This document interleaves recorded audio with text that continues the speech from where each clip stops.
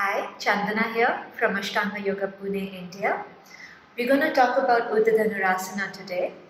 Before I start with this video, remember these online uh, videos or these teachings are motivational tools. But do go to your teacher in your city or your country or your town. Um, when we talk about Dhanurasana, it's not just about flexibility. Your flexibility has to be supported with your strength. So what I can uh, share over here is the four tools of back bending. The first one is leg strength and leg awareness, a lot of quadricep awareness and strength. Second is your hip mobility, your flexibility in your hip, the rotation of your hip. Third is your back and your core strength. And the fourth one is the isolation and mobility of your spine, the flexibility of your spine when you start to isolate it into your upper, middle and lower back. So let's start with Urdhva Dhanurasana. Now you prepare. Now preparation is your heels are hip width apart, your toes and heels are parallel to each other, palms near your ears.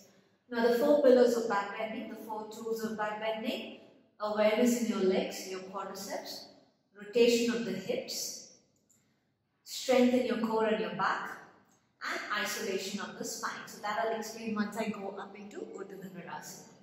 Now remember when you're going up, you inhale to go up into Dhanurasana. When you go up, try to distribute your weight equally on your feet, on your legs, as well as your palms. So avoid doing this or this. So when you go inhale, lift up as if someone is pulling from your belly button up to the ceiling. Okay. So four pillars, remember. Inhale, lift up, stay there. Weight is equally distributed on your on your leg as well as your arms. So you're not going all the way towards your legs or towards your isolation of the spine.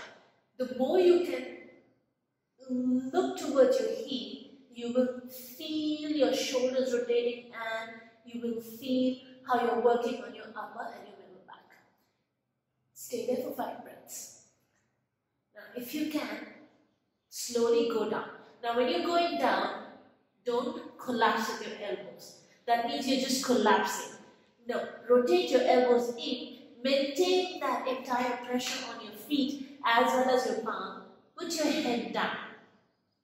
Walk, walk. Again, pushing equally with your palms as well as your legs. Stay there.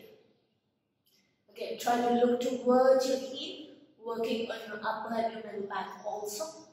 Stay there. Breathe. Again, go down.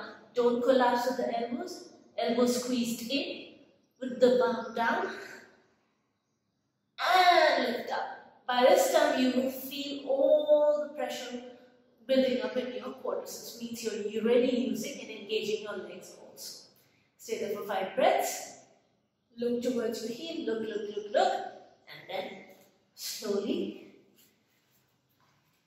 come down.